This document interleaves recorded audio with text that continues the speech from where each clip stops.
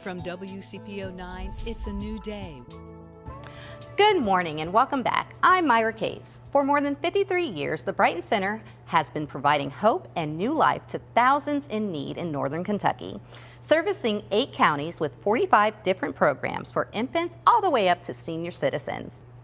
Joining me to tell us more about the Brighton Center is Deanna Souders, the Brighton Center's Marketing and Communications Specialist. Welcome, Deanna. Thank you so much for joining us today. Thanks for having me. All right, now, you guys believe in creating opportunities for individuals and families to reach self-sufficiency through family support services, education, employment, and leadership. Tell us about some of the programs that you guys offer to families. Sure. So we have, as you said, 45 different programs, and it's really all around a deep belief in the potential of people and that everybody deserves the best quality of life possible. So um, as you mentioned, we serve everyone from infants all the way through older adults, senior citizens, and it's really about being there through every stage and phase of life and partnering with those individuals or families to help them achieve their hopes and dreams, no matter what those are or what point in their life they're at. Well, that's amazing. Now, tell us about some of the programs. Um, you guys have multiple early childhood education facilities and parenting centers as well. Can you tell us about some of those? Yeah, so our services start um, prenatally, honestly. So we have um, two home visitation programs. One focuses on zero to two years old and it's called Every Child Succeeds. We're a provider of that program. Um, which was started at Cincinnati Children's Hospital Medical Center. And then we also do a program called Home Instruction for Parents of Preschool Youngsters. It's an international program that is designed to help parents become their kids' first and best teacher and prepare them for kindergarten, which as we know, if you're prepared for kindergarten, you're set and hopefully on a path to lifelong education.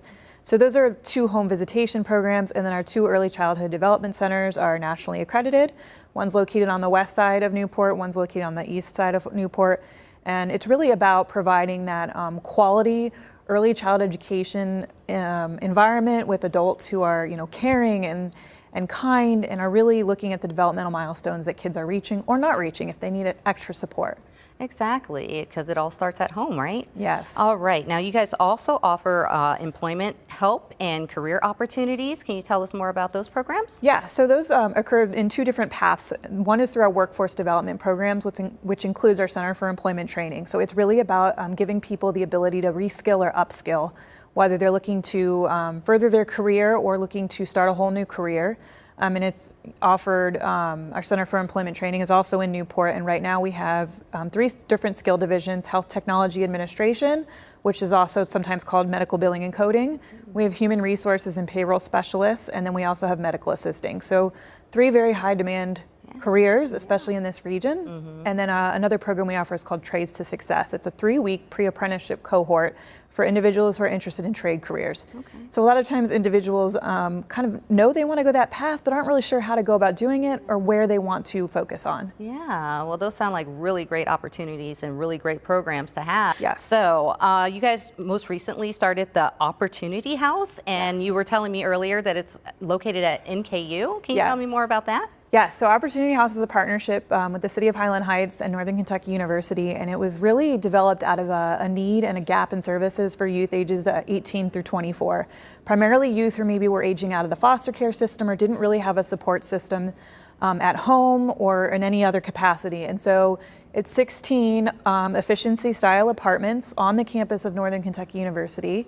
Um, so they have their own little community there. Um, they don't have to attend Northern Kentucky University. It's any post-secondary institution. It just happens to be located there. Um, and they also have access to NKU services as well. So there's an on-site case manager there to help them through any kind of challenges or obstacles they're facing. Um, so they're working and going to school and receiving support whenever they need it. Well, that sounds amazing because yeah. we always hear about, you know, children aging out of the foster care system and needing some sort of help and some sort of guidance. So yes. I'm glad that you guys were there to help them. Yes. All right, so you guys have a gala coming up we next do. month. Can you tell us a little bit about what the gala is all about? Sure. So our um, annual gala is April 20th, Saturday, April 20th, mm -hmm. and it's going to be at North by Hotel Covington. Okay. Um, it is a long-standing tradition of Brighton Centers. It, it came out of what was called the Lamplighters Ball. Mm -hmm which was uh, formed in the late 60s, early 70s. And so it's always been a celebration of hope and impact and um, looking towards the future of, of what, still, what work still needs to be done and how people can help support that.